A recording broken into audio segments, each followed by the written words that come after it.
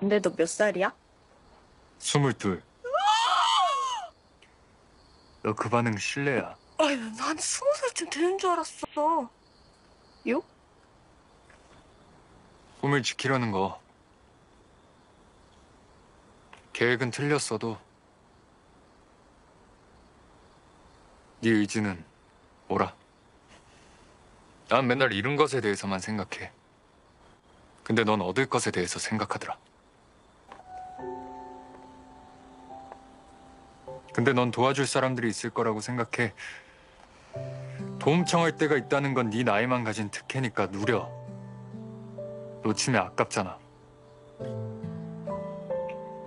그러게. 플러스에서 누구 제일 좋아해?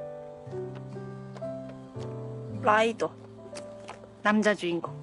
역시 사람들은 부자를 좋아하는구나. 잘생겨서 좋아하는 거거든? 그럼 난 잘생긴 라이더 보러 빨리 가야겠다. 이름이 뭐야? 희도. 나희도. 넌 이름이 뭔데? 백이진.